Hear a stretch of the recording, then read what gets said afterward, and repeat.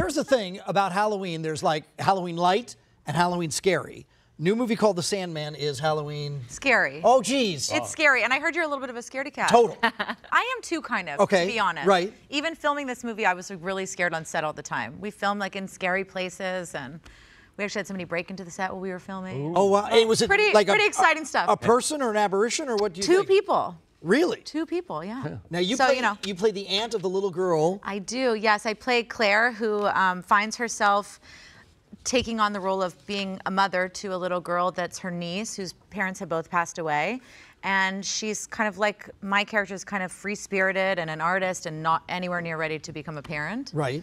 And then it's a little girl that has these night terrors and all these visions. So it's a lot Oh. to handle. Yikes. And she's amazing in it too, Shay Smalling. She's so good. And then, do you ever think about that? I mean, I, I, I, I, little kids, I think, are able to shake things off easier than. Don't scare me though, like my daughter's gonna have something Right. like this, please. Uh, Stan Lee was involved. Did you ever Yes. have any dealings with him? I didn't. You know, he's um, kind of like behind the scenes for Right. this one. Um, but he's, I mean, he's so incredible. Look at him. He's amazing. So it was an honor to get to work on something that he was involved in. Um, I just saw the new Thor movie, and I'm actually doing the junket later today. We'll let Chris Hemsworth tomorrow, and he has a big part in the Thor movie, like like the most Awesome. substantial Stan Lee part I've ever seen him have. Really? Yeah. That's cool. All right, we're gonna look at a clip of your thing. Th- th- I, they told me this wasn't too scary. it's, it's pretty tame just for you. Okay, thank you. For there, well, take a look. Did your daddy ever. Did he ever hurt anyone? Honey, please, you, you can trust us. He said he was trying to protect me from the bad people. That's what he said he was doing. He was trying to protect you. Daddy never hurt anyone. Who did, Madison? Who killed all those people? Wyatt.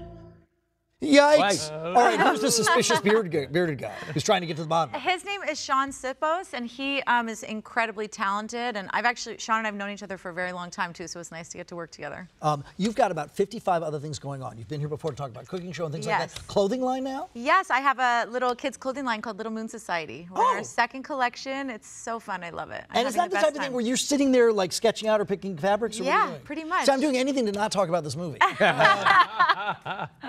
Um, yeah, pretty job, much. I mean, we, my old best friend Jessica, she's not old, but she is my old friend. Right. Um, we came up with this together, and we've been working on it about a little under a year now, and it's so fun. We make everything here in Los Angeles, so we're very passionate about like making things um, ethically, and it's great. We love it. We're having a good time. All right. Well, it's called Little Moon Society, and we'll tell you this: Sandman, uh, Saturday at nine on SYFY. Now you haven't seen it yet. How are you? I'm going to a screening this week, and I'm so excited. I can't wait. I've only seen what you see in ADR, you know, The little little clips here and there. So, Oh, good luck. Nice to see you. Haylie. thank Thanks you. so you too.